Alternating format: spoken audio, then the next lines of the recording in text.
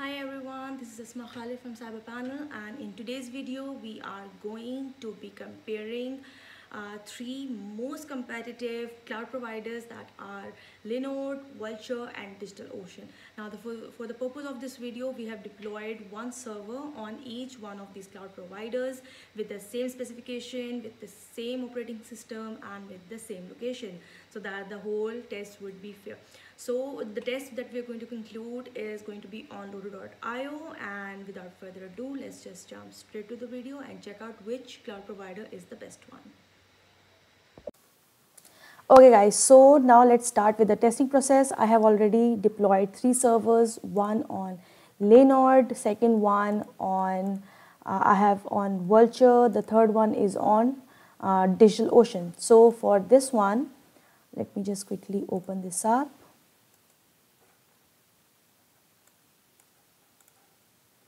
So what we're going to do is I have already in Loader.io, I have already verified my domain for Linode and uh, so let's start with the test for this one. So let's start with a test, new test and I'll name is one Linode. Once I do that, I'll set my clients at 250, duration of one minute, protocol should be HTTPS. Uh, this is my host right over here and I'll just run the test now. So this test is going to take one minute. Uh, just to be fair, all three servers are deployed on the same specification of 1 GB memory, 1 TB bandwidth, and um, same RAM space, same uh, operating system, which is Ubuntu 20.04. The location for every server is New Jersey, New York. So everything is same apart from the fact that one is deployed on Linode, one is deployed on Vultr, and the last one is deployed on DigitalOcean. So our test for Linode is almost done and we'll just save the results for this one and move on to the next one then. So quickly, let's quickly wait for this one.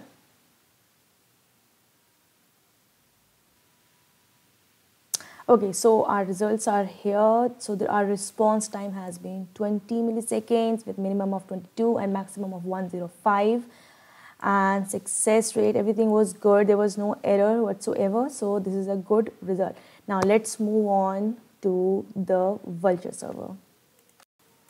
Okay, so the next one is for the server which was deployed uh, using Vultr. And for this one, I have again verified my domain okay so let's start with this one. So again for it we are going to take 250 clients for the duration of one minute. The protocol is going to be https and we'll just start this test. So again for the sake of this video i have made sure that every server is deployed on the same specification on the same server on the same os so that the test would be fair and we'll see which one is working better. So this test is going to take one minute to finish up. So let's just wait for the results. Okay, so the result for this one is out. This one has worked actually relatively much better since the average response time has been 12 millisecond with minimum of 10 and maximum of 76. Again, no error, so this test was successful. And now let's move on to the third one, which is the digital ocean. Okay, so the last test we're going to do is for DigitalOcean for this domain, and I have already verified my domain on Loader.io. Now let's start the testing process for this one. We just name it DigitalOcean. Again, same number of client of 250 and uh, duration will be one minute. Protocol is going to be for https and our test is starting now. So we have seen previously that vultr has actually worked better than Linode and we now will see how DigitalOcean is going to perform. So it's going to take one minute to conclude this test. So let's just wait for the results now and it's done. So for DigitalOcean, our response time has been 22 millisecond with minimum of 20 and maximum of 69 millisecond. Again, this, there were no errors and the test was success. And so we just concluded all three of our tests.